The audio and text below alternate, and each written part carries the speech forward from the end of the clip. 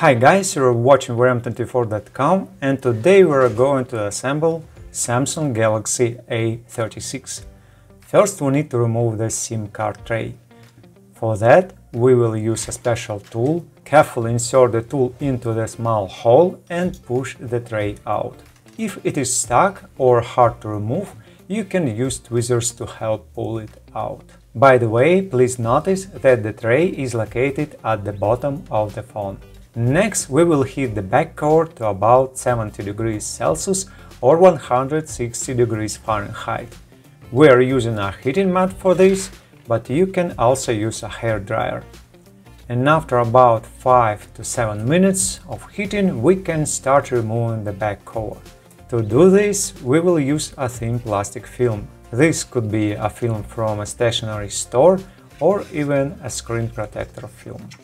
We gently slide the film along the edge to cut through the adhesive underneath.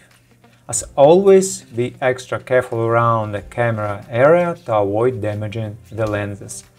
Also don't push the film in too deep, we don't want to accidentally hit any ribbon cables inside the phone. Once the adhesive is loosened, we can carefully lift and open the back cover. As you can see, there is nothing attached to the inside of the cover. Now it is a good idea to protect the camera lenses. We use a special protective film for this. Make sure to stick the film only to the rims, not directly on the lenses themselves. Next we will remove the screws. We use a 1.5mm Phillips screwdriver or Phillips H3O Carefully unscrew all the screws and place them on a special magnetic pad or tray just in case.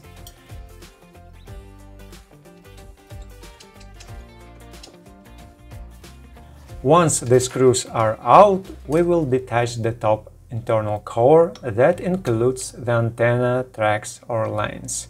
We use a non-metallic tool to gently pry it off. There is a speaker mounted on this cover by the way. After that, we use the same non-metallic tool to disconnect the battery connector. Now we will move on to the screws at the bottom section. Again, we use the same 1.5mm Phillips screwdriver.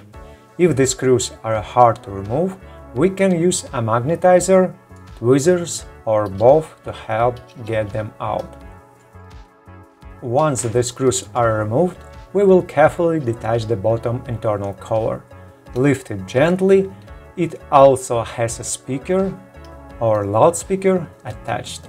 By the way, in newer Samsung models, the covers usually have markings to show where to pry them open. Now we will disconnect the connectors on the subboard the interconnect ribbon cable and the antenna cable. Then do the same on the motherboard side. Disconnect and move all the cables aside. Next we need to disconnect the fingerprint sensor connector and remove a few more screws from the lower section. It is best to keep these screws separate from the previous ones just in case. Also remember the placement of each screw on this subboard so you don't mix them up during reassembly. And we carefully remove the subboard, we could notice it sits slightly recessed. On this subboard we have the charging port, microphone and the SIM card tray connector on the back side.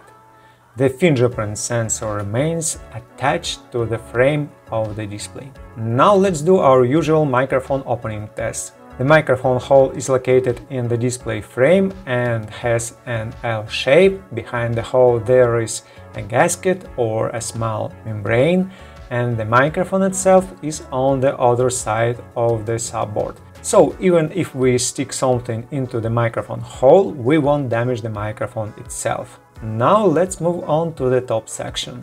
Up here we can usually only disconnect one rear camera and the front-facing camera. It is a good idea to remove the front camera and cover the lens to keep dust out. Then we remove the one screw holding the motherboard in place.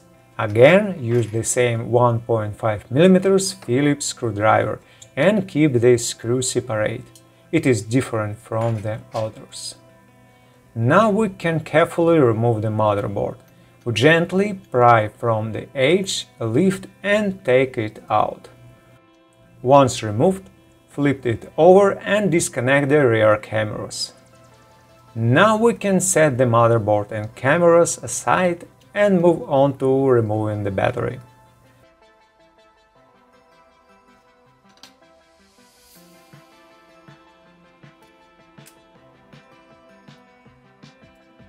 In the 2025 Galaxy series, the battery is held in place with the transparent pull tabs. Peel them off carefully and fold them to the side. Then gently lift the battery out. By the way, the battery is not glued down on the bottom or the back. Be extra cautious with the battery connector cable. Make sure it doesn't get stuck to one of the transparent pull tabs. Otherwise, when you pull the battery out, it could tear the cable. Unfortunately, that does happen sometimes.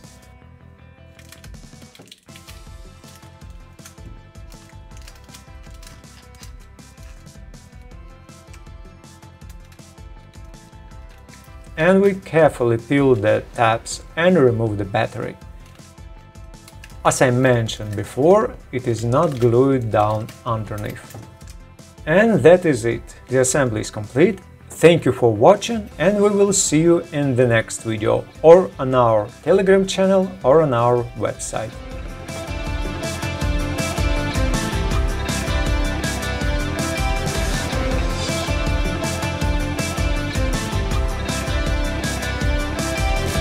Okay guys, now we're done. Thank you for watching. If you like what we do, please consider subscribing to our YouTube channel or read our articles on our website.